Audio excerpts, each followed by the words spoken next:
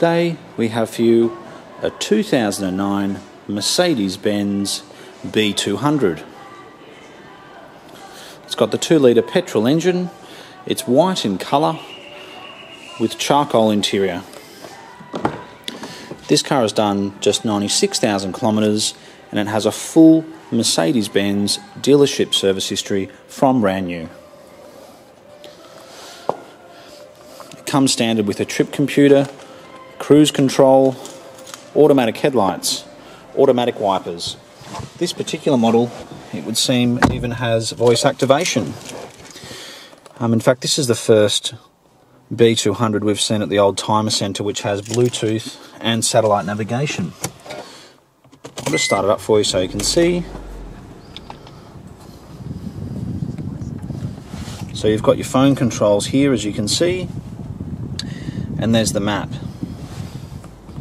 So that was a very, very expensive option when new. And in this day and age, Bluetooth and navigation, in our opinion, is essential. We'll have a look at the logbooks in a moment as well.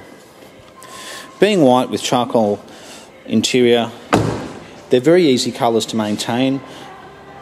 Being white on the outside, it doesn't show all the little marks and things that your dark cars, like black and blue and dark greens, seem to show if they're kept outside at any period for any period of time.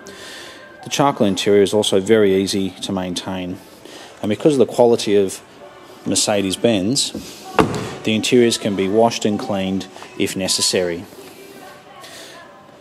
This car was also optioned with front and rear parking sensors from factory. A lot of people buy these cars, decide they would like to have parking sensors, and they put aftermarket sensors on, which which aren't very accurate and aren't very good. You've got your parcel tray. The back seats fold down as well if you do need that extra space. It's got a very nice Mercedes-Benz alloy wheel.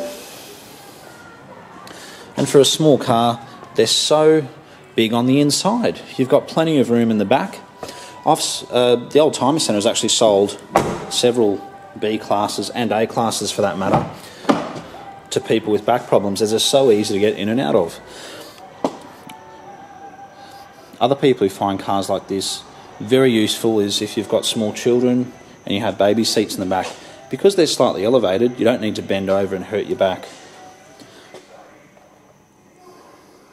The air conditioning is nice and cold, and the car drives beautifully.